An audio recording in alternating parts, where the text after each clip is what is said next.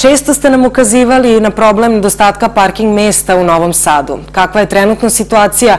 Da li ima dovoljno mesta? Reći će nam koleginica Milana Milovanov. Milana, dobro jutro. Za početak, gde je najteže naći parking? E, novosađanima vozačima najveći problem svakako predstavlja okolina novoizgrađenih zgrada kao i sam centar grada. To se možda ne može reći po ovoj slici koju smo mi ovog jutra zatekli ovde na e, bulevaru Mihajla e, Pupina. Parking je skoro prazan, međutim svi vrlo dobro znamo da je ovo zaista redkost i da će već za nekih pola sata, sat ovo sve biti popunjeno. U Novom Sadu ima više od 120.000 registrovanih vozila, a koliko ima parking mesta, o tome razgovaramo sa Radovanom Jekićem iz javnog komunalnog preduzeća Parking Servis. Pre svega, dobro jutro. Dobro jutro. Dakle, koliko ima parking mesta u Novom Sadu? Pa parking mesta u Novom Sadu pod naplatom, dakle organizovanom sistemom parkiranja u zonama ima nešto preko 10.000 a uopšte u Novom Sadu, u svim naseljenim mestima, ja mislim da je nešto preko 50.000 parking mesta.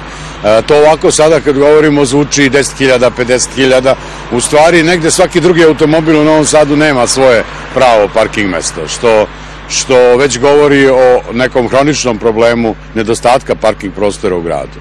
Pa svakako je ta disproporcija u 120.000 vozila i 50.000 e, mesta. Na šta se sugrađani najviše žale? Gde je to najveći problem negde? Evo ja sam rekla centar, a, a pretpostavljamo da je tako s obzirom na to da vozači često kažu da ovde traže mesto i po pola sata. Pa dobro ste rekli, centar. Centar grada je, nekako je Novi Sad e, i organizovan tako da su e, sve i bitne institucije i sve što nam treba je negde u centru.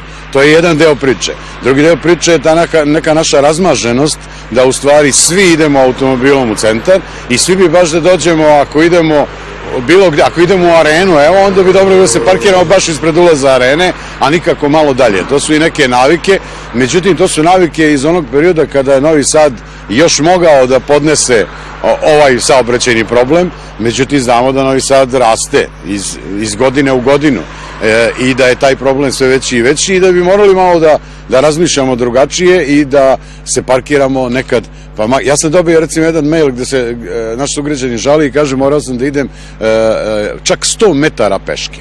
Misli ti kad pročitaš tako nešto onda shvataš u stvari koliko on ne shvata šta znači nedostatak parking prostora i da je Novi Sad. Novi Sad je kulturni centar, administrativni centar, sportski centar, e, ekonomski centar, sajamski grad.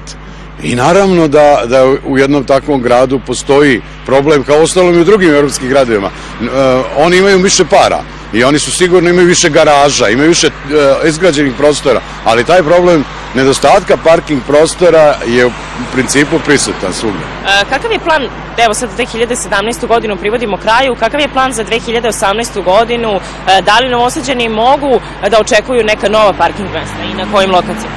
Pa Parking servis je ove godine negde e, konsolidovao redove, izašao iz neke ekonomske krize, da tako kažem, i e, kao što ste primetili, počeli smo da ulažemo neka sredstva u, u parking prostore. Nedavno je izgrađen možda najlepši parking u, gradu, u dvorištu Matice Srpske, sa nekih 100 parking mesta krenut ćemo u renoviranje e, bulevara Oslobođenja, dakle i sa jedne i sa druge strane, jer i tu postoji neki nedostatak na, na samim parkinzima, drveć je uradilo svoje, vreme je uradilo svoje na kraju krajeva, tako da e, e, ćemo time završiti ovu godinu, a sledeću godinu najverovatnije, ako bude para, da ćemo sređivati prostor u Radničkoj ulici, na što se građani u stvari negde i najviše žale. To je do sada bio privremeni parking prostor, Uh, uvek dobro dođe kada možemo negde da parkiramo automobil, ali ćemo taj parking prostor srediti da on bude E, pravi parking prostor, urban parking prostor kakav građani zaslužuju.